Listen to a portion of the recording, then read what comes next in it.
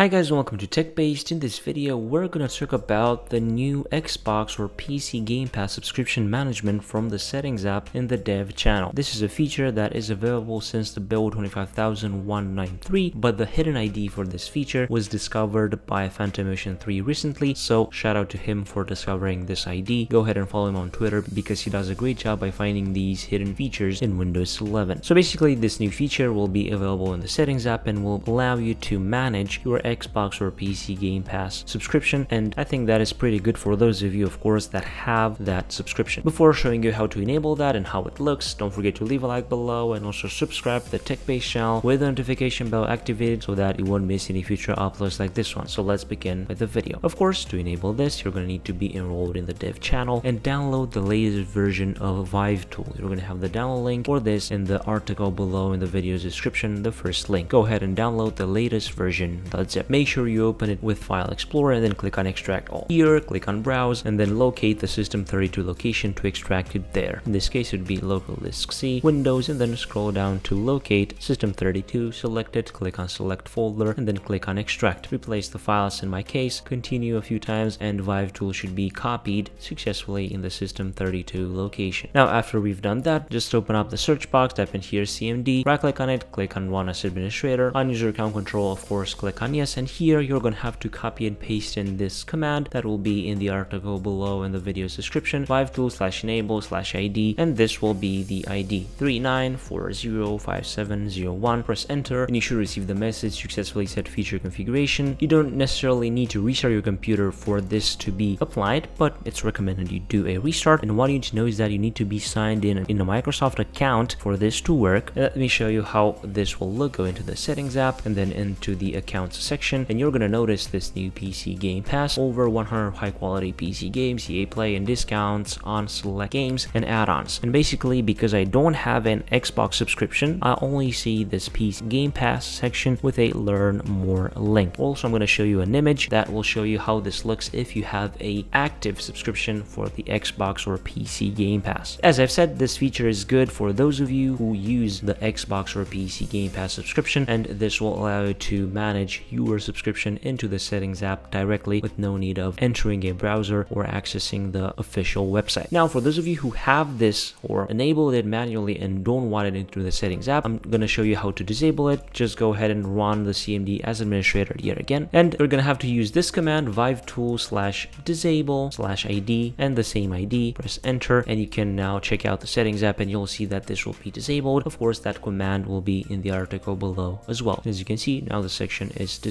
I think this is a small little feature that can be useful for some people or not useful for others and that's why I showed you how to enable and also how to disable it. If you enjoyed this video, please don't forget to leave a like below and also subscribe to the TechBase channel with the notification bell activated so that you won't miss any future uploads like this one. I was Emmanuel from TechBase. Until next time, have a nice day.